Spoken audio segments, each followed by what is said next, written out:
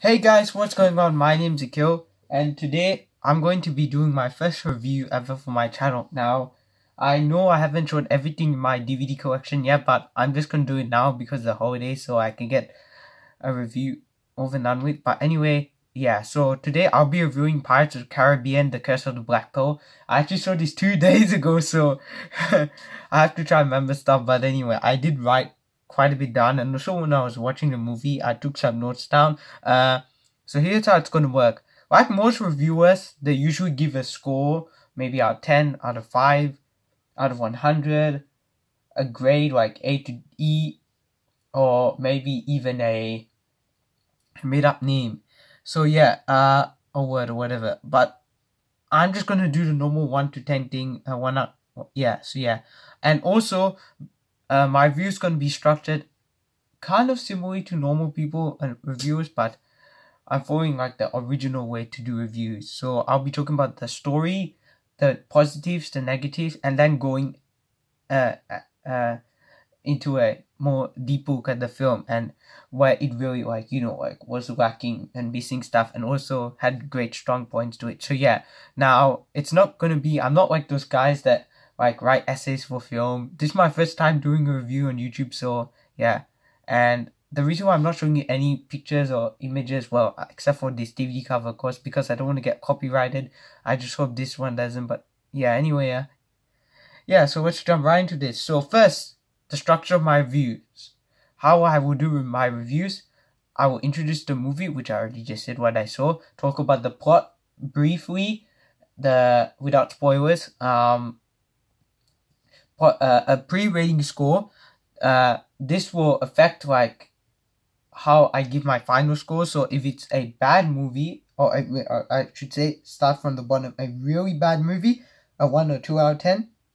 A bad movie, a three or four out of ten. A okay movie, a five or six. A good movie, a seven. And a great movie, an eight, nine, or ten. Now I know a great movie feels a bit lenient uh giving uh an 8 out of 10 to a great movie but still hey 8 out of 10 is still pretty damn good right? Yeah.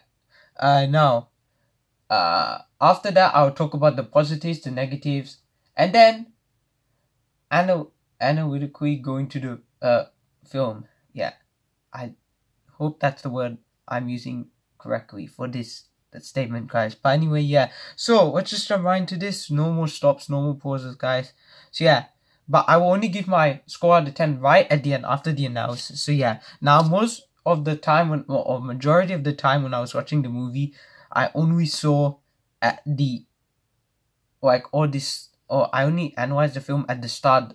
So I didn't write much during some of the other process because it really isn't that bad of a movie, guys. So you know what I'm gonna give this movie, guys. So yeah. Alright, so let's talk about the plot first. So, Pirates of the Caribbean Curse of the Black Pearl features three or four main characters. Jack Sparrow, played by Johnny Depp.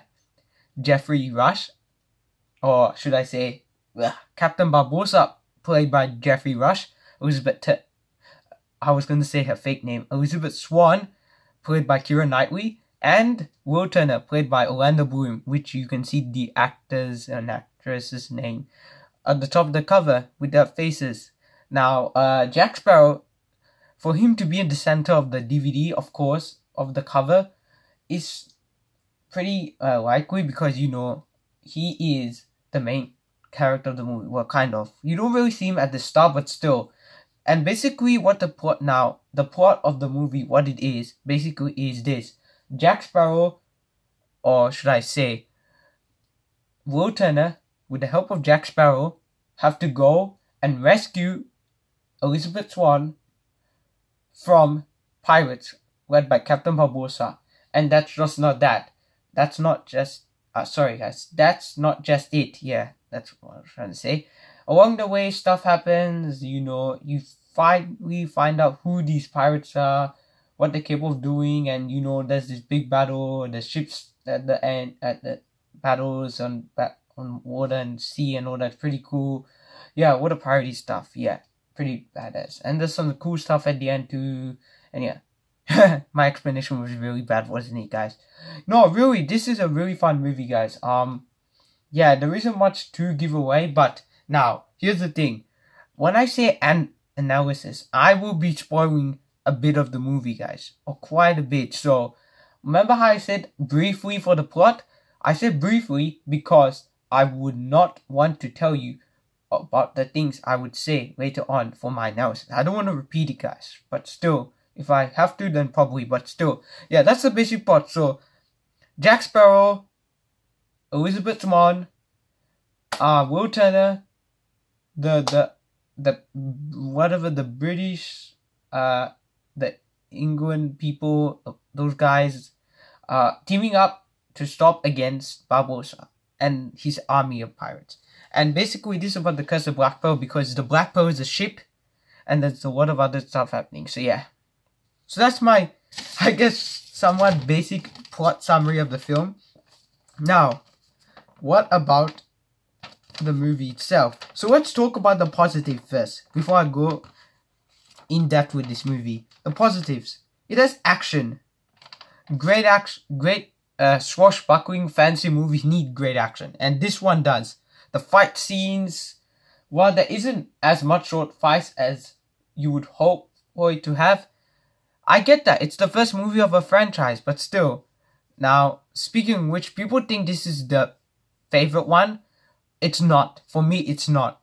It's one of the best, but it's not for me. Sorry, guys. Yeah, uh, it's it's actually better than the one that came out this year, surprisingly. So yeah, because I watched that this year. I have a vague vague memory of it. I saw that once, but seeing this so many times and seeing this two days ago, I was like, yeah, this is so much more enjoyable than the one that came out this year. I mean, that one did have its moment, but still, yeah.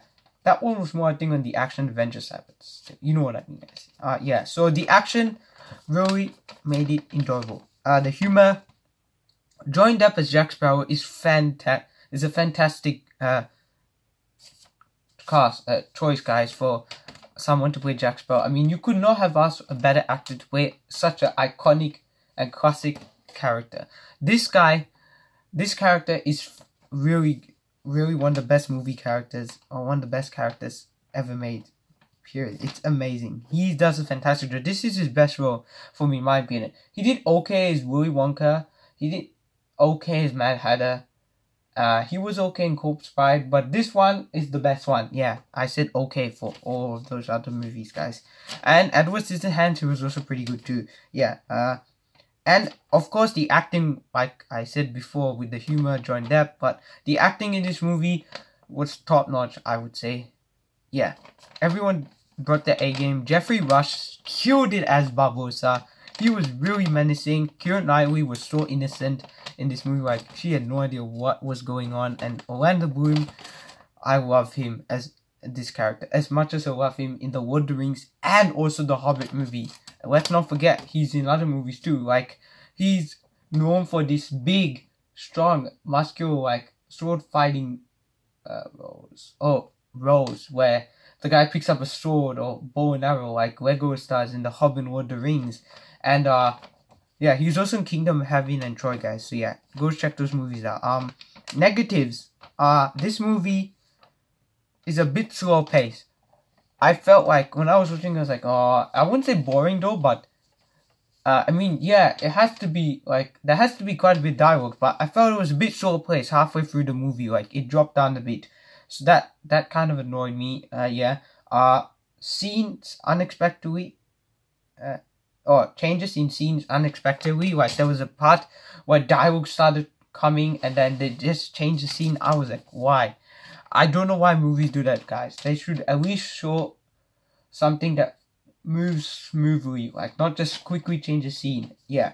Uh, and backstory for Jack. There was no backstory for Jack. Uh, I know it comes out a bit later for this character, but still, uh, yeah, no backstory for Jack, sadly. Alright, now, and now it's time First up, the first major negative I found out for this movie, other than uh, the ones I just said, is there's no Disney logo. That let me down. Uh, yeah, I should mention there's going to be spoilers here, guys. So if you don't want to see this, turn off the video right, right now. But if you do, then keep watching. But anyway, no Disney logo. For some reason, the logo was not there. They just straight away jumped into the movie. Now, I didn't really care about it before because I was just a normal guy liking movies, but now I have to say that every movie needs a logo. And I just realized when I was watching, I was like, hey, I'm so used to seeing the Disney logo. Where is it now? They did it for uh, the second, the third, and the fourth, and also the fifth movie. So why not this movie? Where is the Disney logo, guys? That let me down. I mean, come on. I get that the movie's wrong, but at least add a logo, guys. Come on. Maybe it's in the original cut. I don't know, but I I mean the uh, theatrical version. I don't know, but still, hey, this is Blu-ray. They should at least have a logo. I mean, they could advertise a bunch of Blu-rays coming out, not show a logo. What is this? Anyway, the opening of the movie, I absolutely loved it. It's it's a good intro for the characters, and you know, and a flashback. It's great to see that these characters start off as in with a flashback. This movie starts off with a flashback showing these characters, Elizabeth and Will, as children and how they meet. You could tell, uh, they don't look. Uh, you can tell. Wait, let me try and say what I'm trying to say. Sorry, guys, this is my first review, so yeah, I would probably have. I, I have already stuffed up quite a few times. But anyway, what I'm trying to say, guys, is that you can tell that these characters are gonna be like you know in love or something like that in the future. Because the way like uh what's it? Elizabeth Swann like obviously it's not Keira Knightley as a child but the actress the young actress playing uh Elizabeth Swann in that flashback scene at the start you could tell she already fell in love with the character. And that brings me to another negative later on. So yeah. So after that flashback this is when the movie had its real problems. Were only Uh, three, four and a half problems for the part I could pick out. So first up, we have close up of Keira Knightley's face. The moment the flashback ends, you are already zoomed into the face. I get that you ended with that. You could have just, you know what, to made it could have made it better. When she shut her eyes, it could have just said Pirates of Caribbean because of Black and then Modern Day or something like that. That could have been so much more better.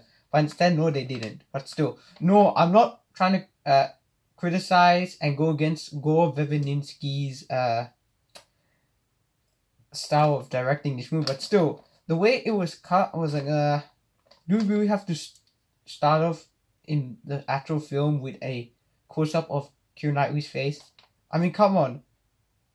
Why? She was 18 in this movie. So yeah. Anyway, uh, Next up, we have, oh my gosh, this scene, unnecessary dress up scene.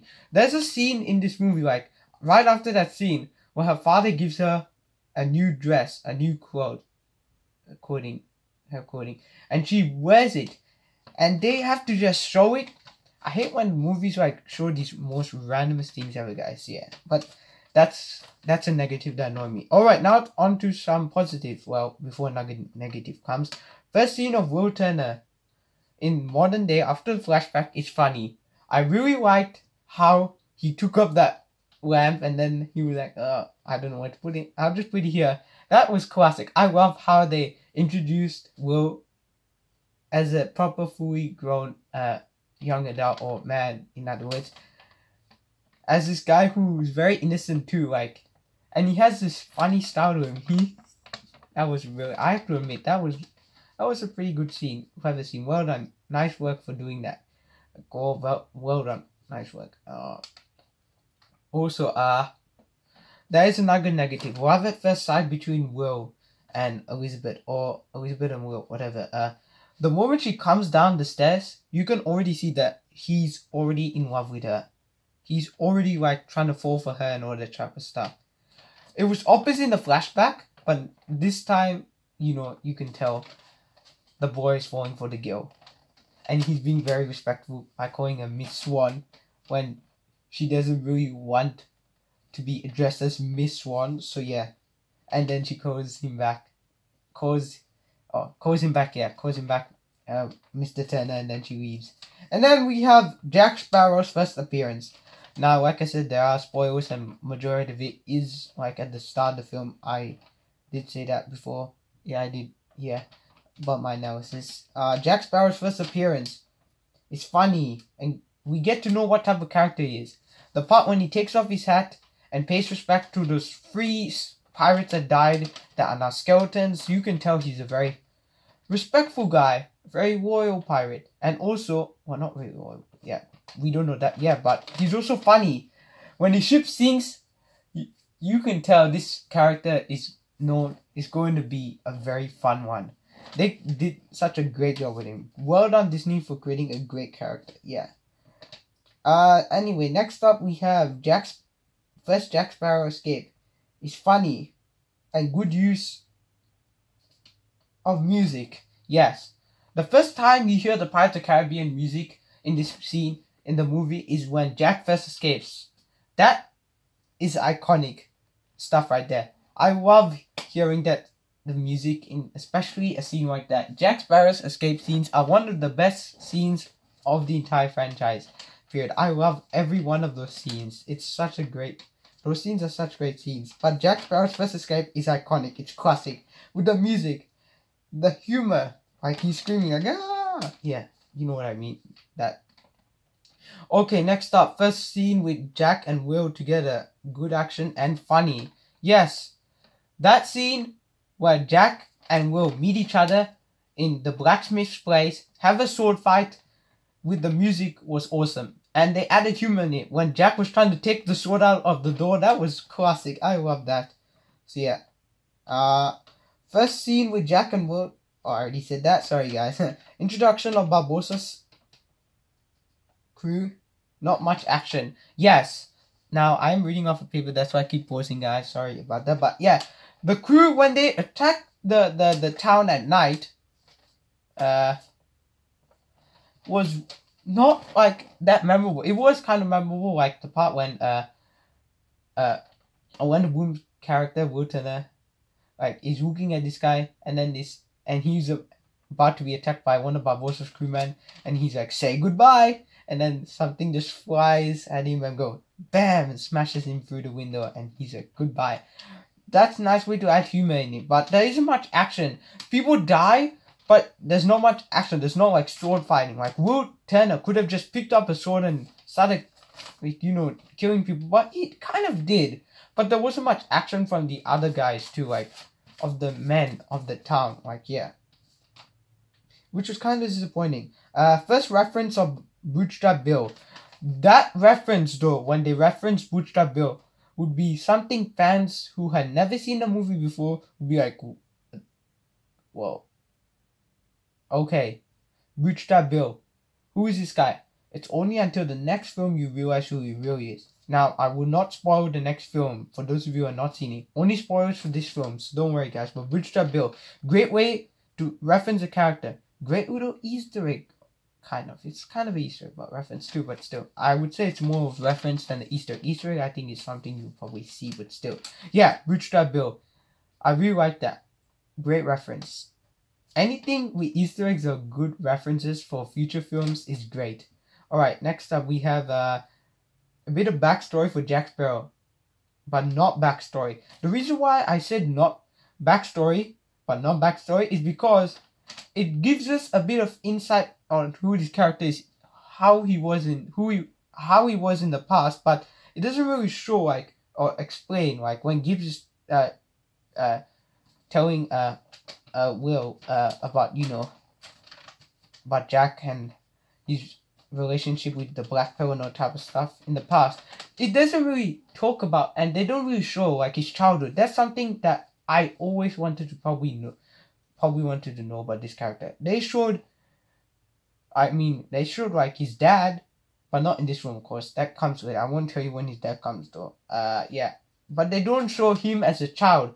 Come on, you can show two of the most important characters in the film as kid, but not the probably most iconic character of the entire franchise and the film. Come on, what is this? I know you're I know you don't want to make the film that one, but still, at least do something. That's why I also would say it's a positive and a negative. It's a positive because you gave a bit of backstory for the character, like you made us like understand why he wanted Black Pearl and all type of stuff. But it's also a negative because it doesn't show like an actual backstory for the character, like, like you know, who he is and all that as a child. What he's motivated to do. You kind of get a sense of it, but not really. Alright, next up, good use of music at the final battle. Yes, I jumped a one way, guys. The final battle, great use of music. I loved it. And also good action in the final battle. Every final battle needs great action, not some fast-paced ending like the Great War had. Oh, disappointing. Anyway, uh, the action was great. Uh, yeah, great swashbuckling action right there, guys. Yeah, and not much of the crudo in the final battle, which is also a negative for that. It's a positive and a negative. And finally, to wrap up, funny ending. Yes, guys, this movie has a very funny ending. So yeah, uh, yeah, that's about it. When the part when he like almost try he tries to finish right he almost finishes it but it doesn't actually finish so yeah he's like this is the day you always remember the day that you almost caught captain jack and then he falls down or something like that. But he doesn't i think he doesn't say i think he's like this is the day you today is the day you always remember as the day that you almost caught captain jack. Something like that. You know what i'm trying to say guys? Yeah. Okay that is my in-depth review and my other review for jack sparrow's first adventure pirates of caribbean the curse of black pearl. Yes gore verbinski did a great job directing this movie but overall this movie is a solid movie. I wouldn't give this movie a 10 out of 10 like most people would but it's a great way to start the franchise. It's not a great movie but it's a good movie. So overall i have to say that this movie deserves a 7 out, 7 out of 10. I don't think I said it's a good movie before, but I'm saying it now. Yeah, it's a good movie, so it deserves a 7 out of 10. Do you get it now, guys? If it's a good movie, a 7 out, a 7 out of 10. So just remember that. Good movie, 7 out of 10. Great movie, 8 to 9, 8 to 10. In other words, 8, 9, 10. Bad movie, 3 or 4. Okay movie, 5 or 6. And a really bad movie, 1 or 2. Yeah. I've seen really bad movies, but still. Anyway, yeah. So, that's my review for Pirates of the Caribbean, Curse of the Black Pearl. Hope you guys enjoyed it. What did you think about this movie? Uh, tell me in the comments below. Subscribe to my channel. Watch my collection videos. And thanks for watching and see you guys for another review. Bye, guys.